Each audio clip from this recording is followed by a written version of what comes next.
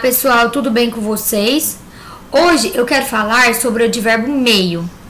Meio sempre será utilizado sem flexão. Por exemplo, eu estou meio cansada e não eu estou meia cansada, certo?